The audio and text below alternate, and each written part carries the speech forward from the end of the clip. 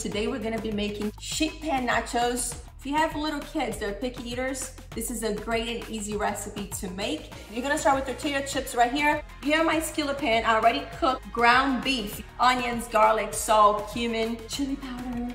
What I'm gonna do is we're gonna put some items on top of this sheet over here and we're going to put it in the oven for just a few minutes. So I'm gonna start with some shredded cheese. I'm going to add beans. I'm also going to add some tomatoes. Over here, I have some onions, some cooked onions and pepper. We're only going to top half of the chips. All right, guys, we're gonna top with some of the ground beef. Now, if you like spicy, add some jalapenos. We're making an adult side and a kid side. We're gonna put in the oven for five to eight minutes. For the time that the nachos are in the oven, we're going to get some avocados.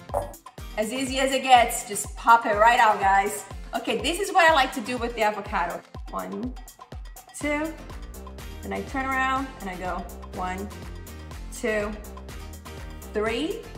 I do a little, little squares. Then just use a spoon and scoop it off. I'm gonna do one more, scraping this baby out. Okay, I think it's time to get these babies out of the oven. Mm, that looks so good. Let it cool for just a couple seconds and then you're going to add your avocado to the top. We're gonna add a little bit of cilantro to the top. I'm gonna add some lime wedges to the side. And that's it, you guys. Look how beautiful, colorful, and tasty this looks. Which goes just right with the message of my new book, Just Try One Bite. Mmm, Beijus, enjoy it. I hope you enjoy as much as I do.